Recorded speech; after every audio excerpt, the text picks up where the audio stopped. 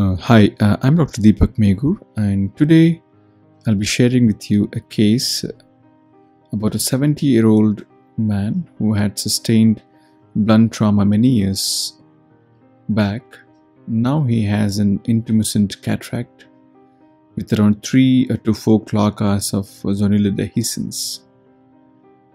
So I begin my case by doing two small paracenteses at this stage, I'm not sure uh, that whether there is vitreous prolapse or not.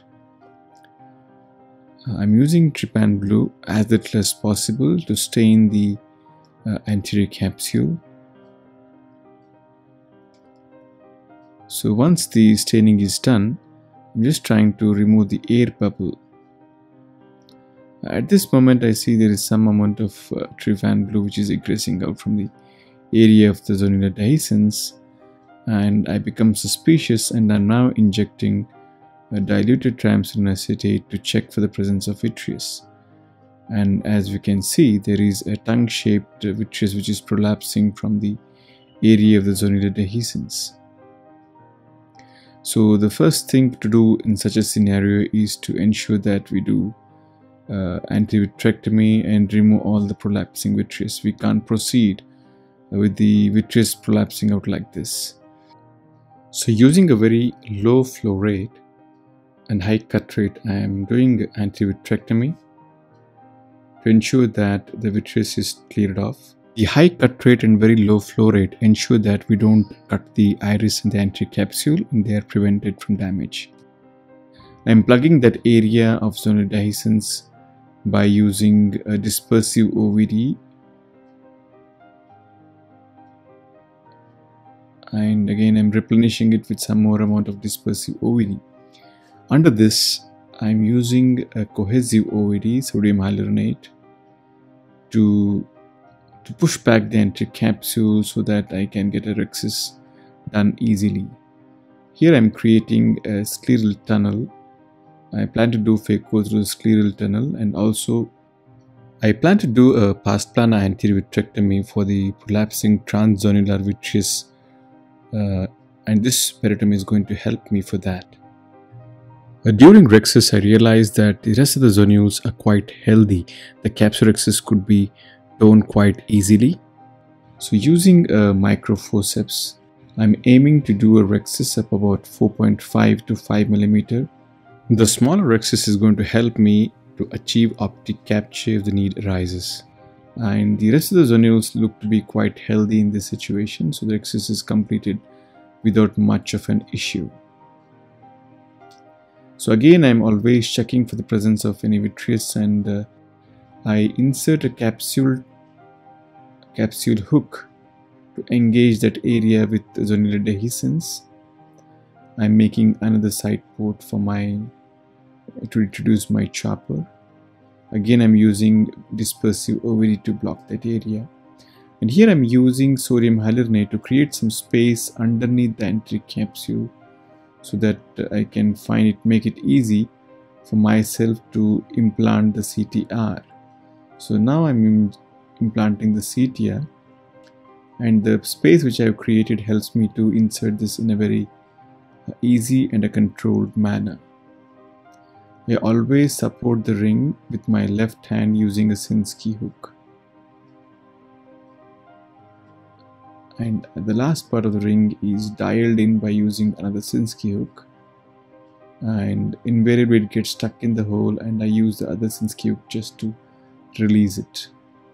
So once the uh, ring is in place, the bag looks to be much more stable and my strategy is to do a direct chop So once I bury the phaco tip into the nucleus, uh, I'm trying to chop the nucleus and realize that it's quite dense. My right hand is stable and I'm just trying to use my left hand to separate the nucleus and try to uh, break the posterior fibers. I rotate the nucleus again and again the tip is buried and I'm proceeding with my vertical chop. Again, the strategy is here to keep my right hand stable and try to uh, separate the fragment using the left hand. The difficulty in eyes with these loose bags is that you don't have the counter traction which is so helpful in uh, separating them because the tensile strength of the bag is not much here. So anyway, the half of the nucleus come out and the fragments are being emulsified quite easily. At this stage, I realize that the hook has got disengaged from the capsular bag, uh, but the bag looks quite steady and safe. So after injecting OVD, I remove the hook and I also found that there is a tag of the vitreous band which is prolapsed again through the area of the zonular defect. Uh, going back with my bimanual vitrectomy to cut that vitreous band, I'm again injecting dispersive in that quadrant to block uh, any further prolapse of the vitreous. The remaining heminucleus section of the nucleus is again gently rotated in the bag. Again, it's important to keep the bag formed. I'm using HPMC to keep it formed here. And again, as I'm trying to chop and laterally separate, we can see that the lateral separation of the posterior plate is quite challenging because of two obvious reasons. One, the nucleus is obviously slightly denser. Second is we don't have the uh, the counteracting force which would help us to chop it much more easily. So nevertheless, we're trying to, we are achieving this chop so after each nuclear fragment is emulsified, I make it a point to go back again and inject my dispersive OVD in the area of the zonular dehiscence. And also I keep the bag formed by using a 2% HPMC. This is the, the final fragment, a huge chunk of the nucleus which is there. So again, the same principle, I'm keeping the bag formed here using HPMC uh, and again chopping the nucleus.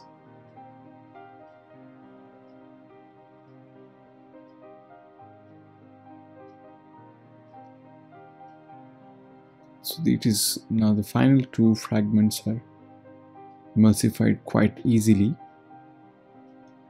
And finally, I think job seems to be well done and I'm relieved that the nucleus could be emulsified eventually. White plaque which you're seeing behind the posterior capsule actually is the vitreous which was stained with the, the triamcinolone acetate which we had used and we can see there is still some amount of vitreous being uh, prolapsed to that area. Uh, at this point I thought the best way to tackle this is by using by using a pars plana approach because we can access the vitreous from behind and then do decent antivitrectomy. So 3 millimeter from the limbus, I make a sclerotomy using AMVR blade just behind my scleral tunnel incision which I had created. And again using my 23G cutter and infusion through the uh, antechamber paracentesis, I proceed to do a limited anterior vitrectomy care is taken that I remove all the vitreous which is there adjacent to the area of the zonular dehiscence and also I'm cautious that I don't damage the posterior capsule. I'm just doing a limited amount of antivitrectomy. There's no need to do uh, overtly enthusiastic and remove a lot of vitreous. So just enough to ensure that it doesn't prolapse through the zonular dehiscence at this stage, I'm closing my sclerotomy using a Tenno, oh, using a A2 vicryl. Now is the time to implant the lens. I'm using sodium hyaluronate to create some space. The plan again is to implant the multi-piece lens with the haptic in the sulcus and then trap the lens behind the rhexis margin to achieve an optic capture. So I find I thought that this case is ideal again for this technique. So first it's important and critical that we go back behind the lens and remove the OVD which we have used it. and once the sodium hyaluronate which is there behind the lens has been aspirated now I come back and aspirate the OVD which is in front of the lens.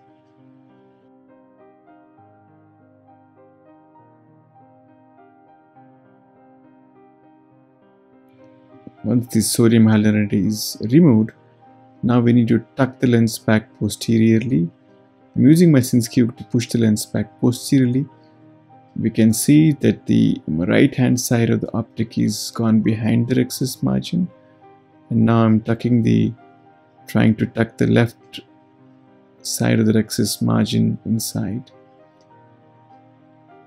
and once it is done you can see there is some amount of a vitreous which is again prolapsed to that area so the last final time I'm using my vitrector to do vitrectomy and you can see the ovalization of the rhexis which is suggestive of the fact of the optic capture. We used pilocarpine to constrict the pupil. I'm not happy with the, the side port incision found it to be leaking. So I'm using 10-0 Vicryl to suture that area. That's it the job is done well it took 40 minutes for me to complete this case. So the first post-op day as expected uh, there was some central corneal edema. Stromal edema was seen but the pupil was round and uh, I'm sure this edema was going to clear up. So one week later, the patient is happy and we have a clear cornea. By this technique of trapping the lens uh, with the haptics in the sulcus and the optic in the bag, I find the phacodonesis is very much less uh, compared to what it would have been by putting the entire thing in the bag. Well, I have been using this technique of uh, trapping the lens the last couple of years and it seems to work very well in select group of patients who have got localized areas of zonular dehiscence. So far so good. Thank you so much for watching.